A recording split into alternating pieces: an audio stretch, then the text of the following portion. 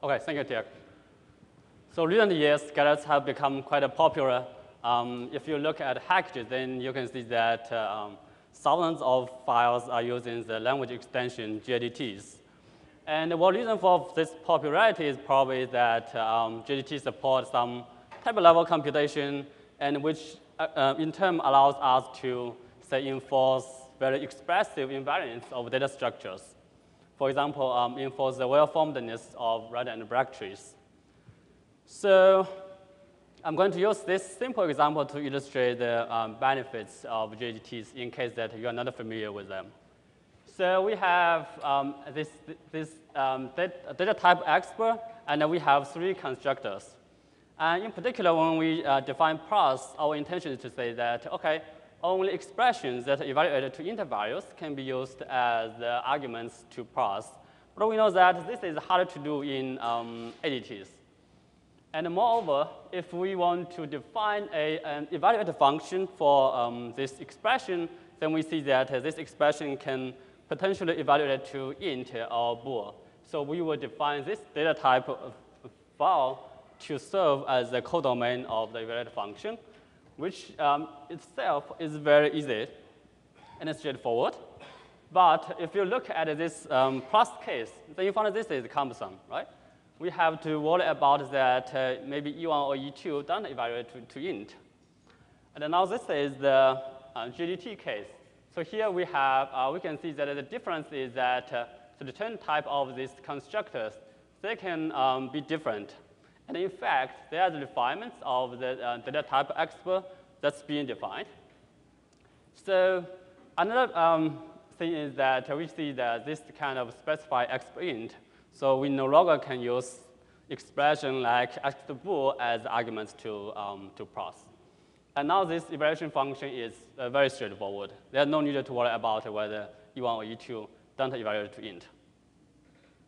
So this is good. But uh, there's um, certain challenges here. Um, in particular, they are kind of polymorphic recursion, and we know that uh, um, type inference with that is undecidable. And the second problem is that the loss of principal types. Now here's an example of uh, what's the meaning. So we are given this frop1 function, and with these uh, three data constructors. So now the question is that what are potential types that we can assign to frop1? Well, first type is i to int. Well, we should all um, be comfortable with that. Now, um, interestingly, another, another type that we can assign is i to a. Well, the reason is that uh, um, when we do pattern matching, so they introduce the local assumption that, that says that a is essentially the same as int. So now whenever we want to say int, we can use, essentially use a to replace that. Now, um, this is why we can use a as the return type of the function. Now the problem is that, as you can see, that neither type is more general than the other one, right? So, and this makes type inference um, impossible.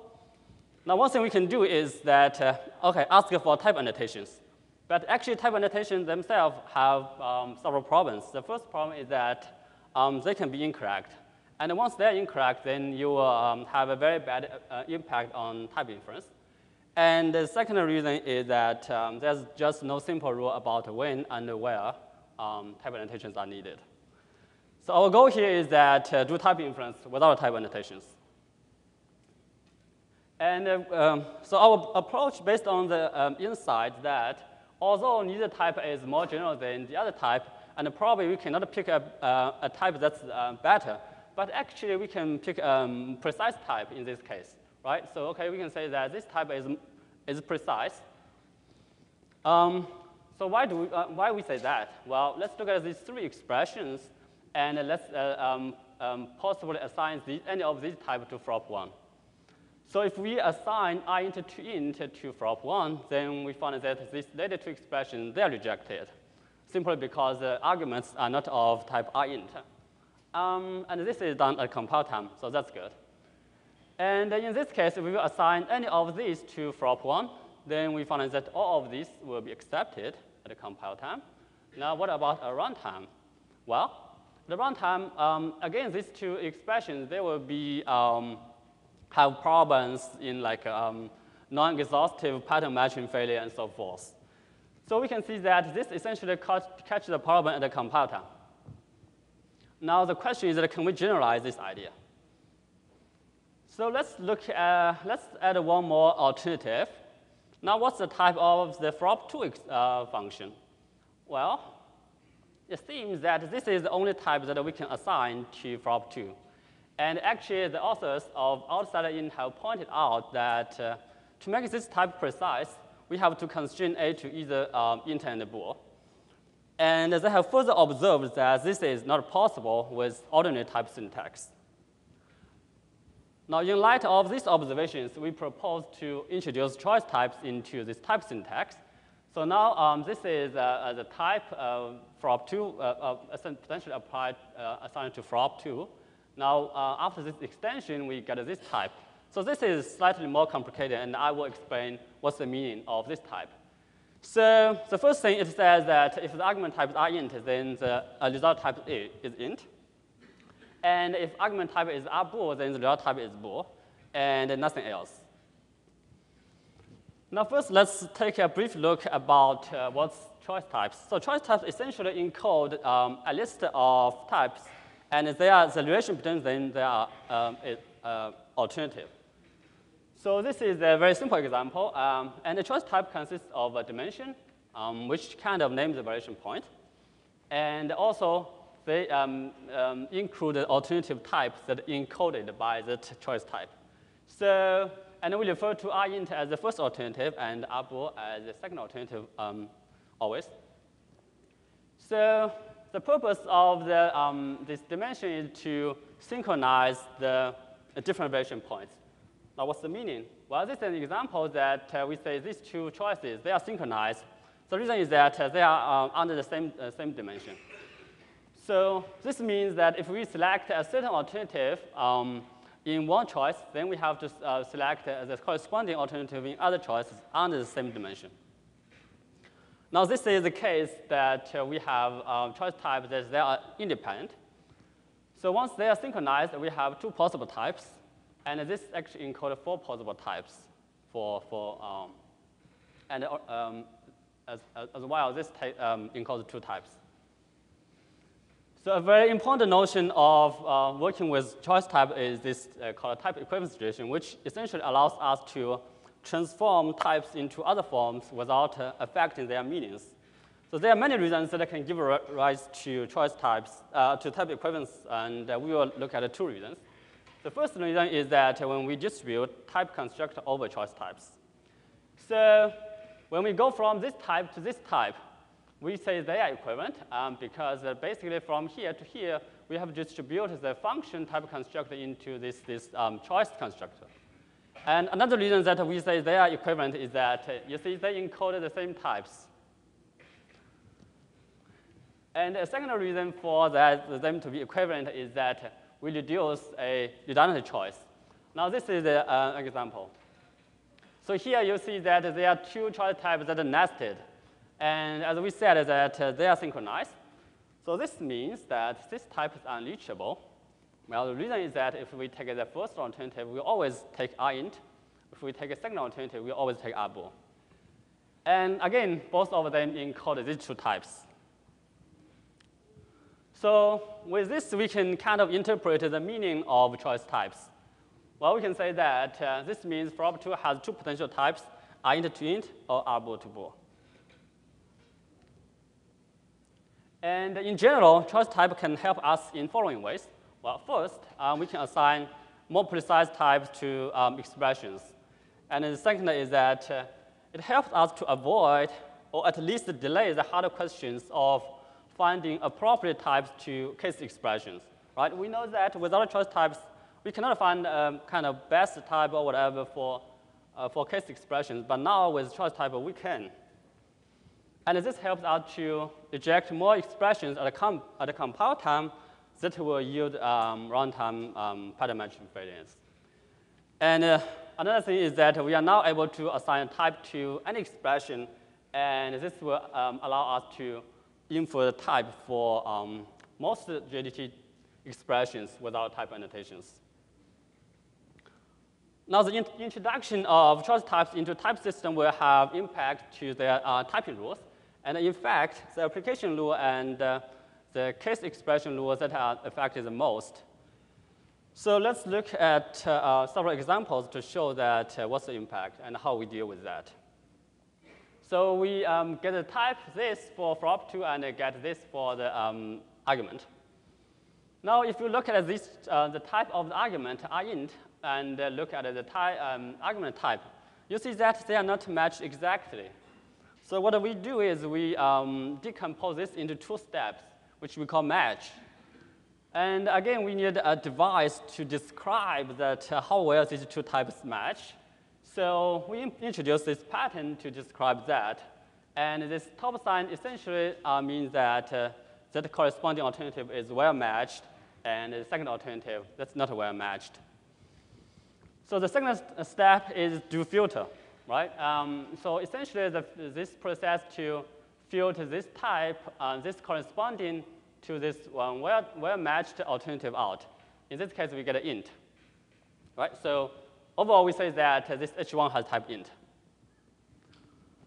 Now, look at this expression. We see that if we do match, then um, neither alternative will be well matched.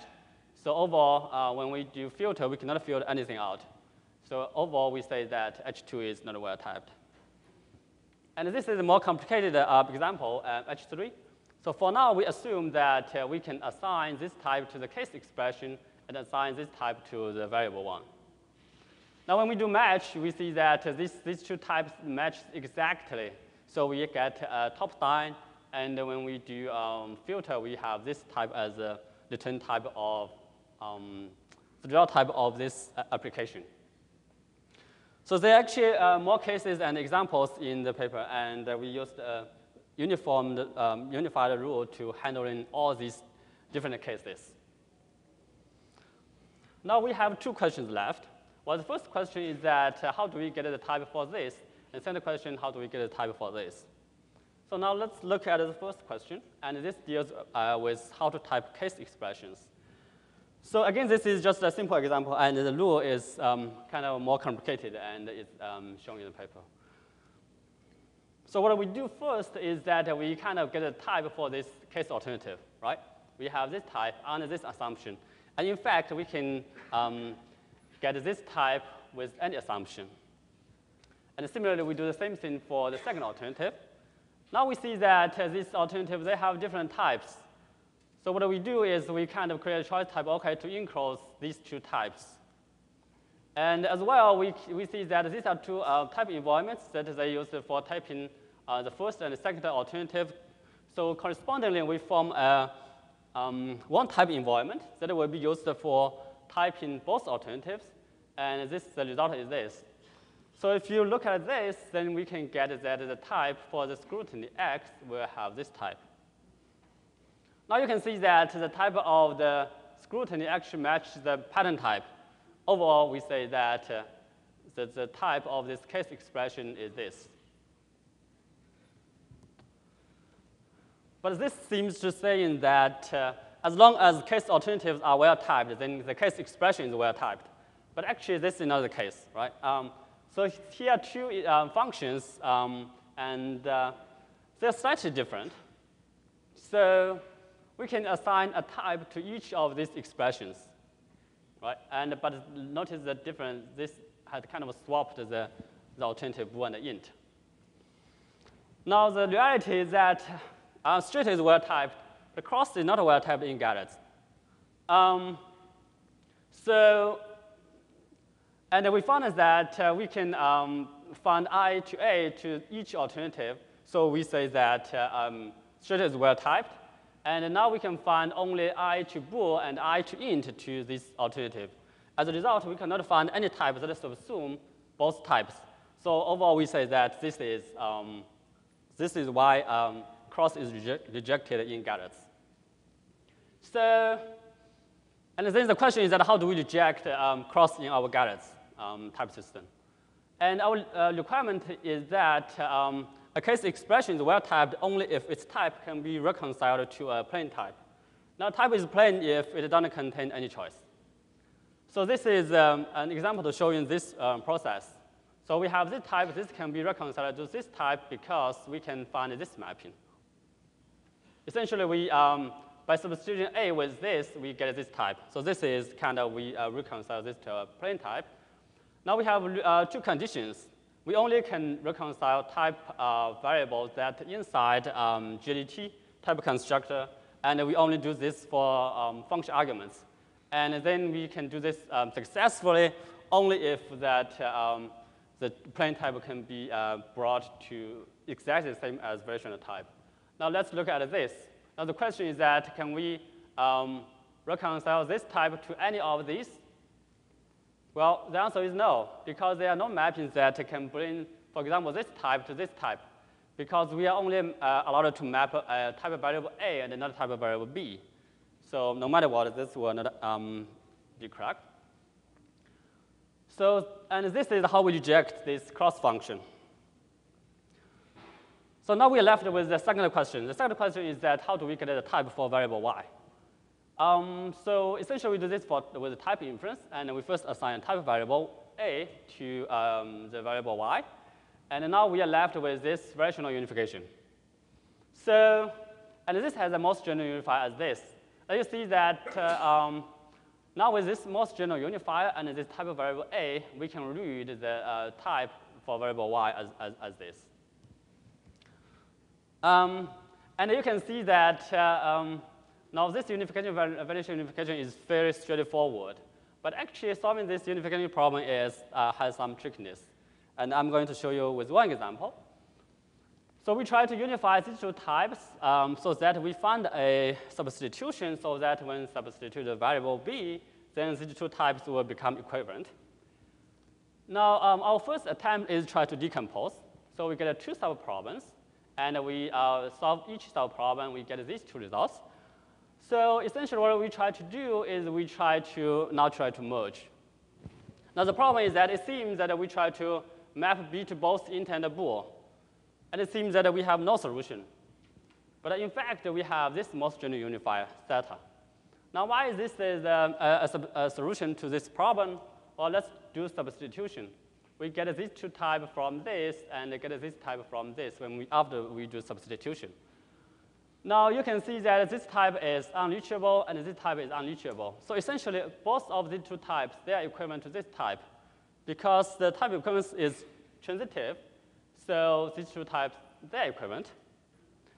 And this shows that our original, very straightforward uh, um, approach seemed to be incorrect. And the correct solution is actually a simple modific modification to um, um, our previous uh, approach. So we have to respect that uh, these problems, they have to, to be solved in their own context. Namely that this problem have to be solved in the left or D1 and this have to be solved in D2.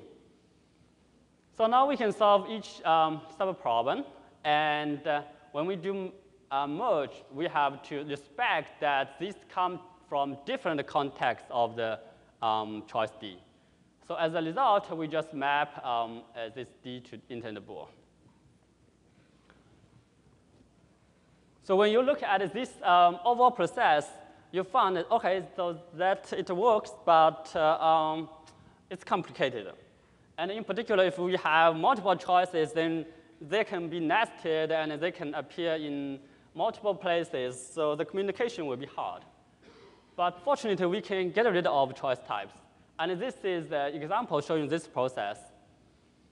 So first, we know that H3 we can assign to this type based on our um, previous reasoning.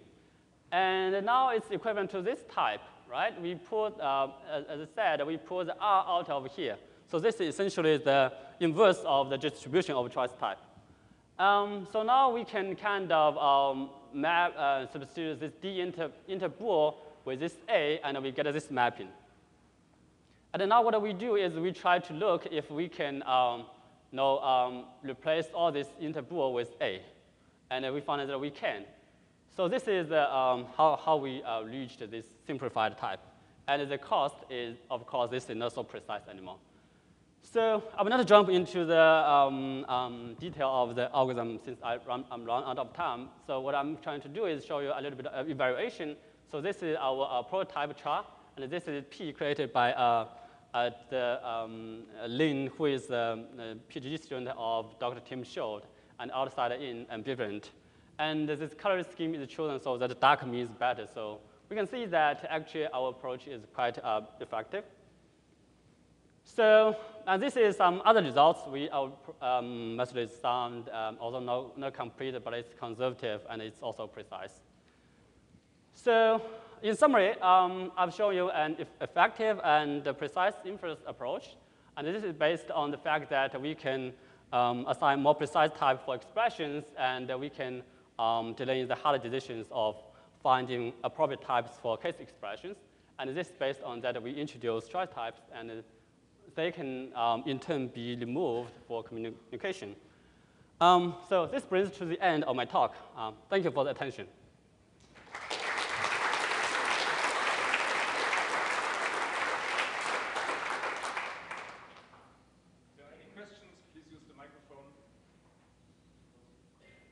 Giuseppe Castagna, um, Paris Diderot University. Uh, it seems to me that what you propose is to add uh, some kind of very restricted intersection types to, to the system. For example, in your example, it's mm -hmm. like saying that float has type r int arrow int intersection r bool r arrow uh, bool. Okay, so uh, my question is, is this intuition correct? And uh, if it is so, did you compare with the more general framework of uh, intersection types? Well, in general, um, I want to say that uh, um, um, you know the type inference with intersection type, that's not a, um, syntax directed, right? You have to add annotations somewhere to say, okay, I need to use intersection type somewhere. And uh, so this is not the case with our choice types. So there are some other uh, differences with intersection types. So um, the first difference is maybe that uh, these choices are named so that uh, we can either have this synchronization, and, uh, but we know that intersection types, we have no way to synchronize with them and whatsoever. So, um, but I haven't thought about using um, intersection types in our, in our system. And so these are the differences that I can see um, between um, using intersection types and choice types. Hi, I'm uh, Richard Eisenberg. Um, so I, I have two related questions. One is, does your system deal with annotations? If the user wants to put in annotations, can it cope with that?